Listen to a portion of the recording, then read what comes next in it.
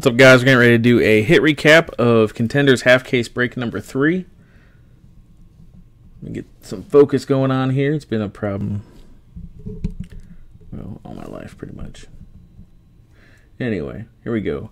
Deshaun Hall, Jonnu Smith, Doug Baldwin with the veteran ticket, Matthew Dayes. These are all of our rookie ticket and veteran ticket autos. D'Onta Foreman, Chad Williams, Amara Darboh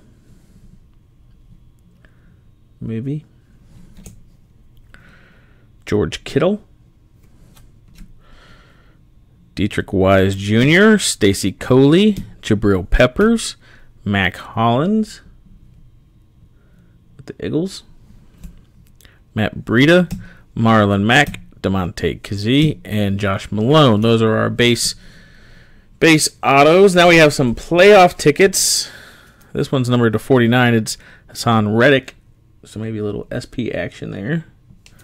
Tyus Bowser for the Ravens. Uh, Jamal Agnew for the Lions, number to 99. Kyle Sloter for the Vikings. And we have this Brad Kaaya, number to 99 for the Panthers. Next up, we have these insert autos. We have Rookie of the Year contender, Ardarius Stewart to 199.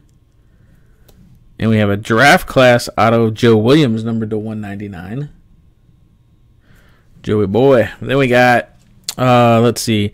This dual auto of Ryan Switzer and Jehu Chesson numbered to 99. Let's see if we can get that to give us some focus on that. Pretty cool card. We have a championship ticket of Elijah McGuire numbered to 49 for the Jets, the gangrene the Hoobastank, whatever you want to call him.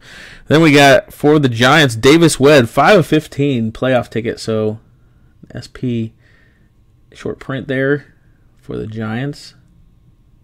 Congrats. Uh, let's see. Then we got some cracked ice. We had three cracked ice rookie tickets. We had this Justin Evans for Tampa Bay. Never heard of the guy, but maybe he's a boss and I just don't know it. Then we have this Josh Malone, cracked ice alternate. Then we have a De'Veon Smith, 2 of 25. So another Miami team with a cracked ice. Then we have two redemptions. This is a draft class autograph RPAs for RPS for Wayne Gallman. And then a rookie ticket RPS for Wayne Gallman. And we also got stuck with two point cards. So that's the break from contenders. Appreciate you breaking with us. Have a good night.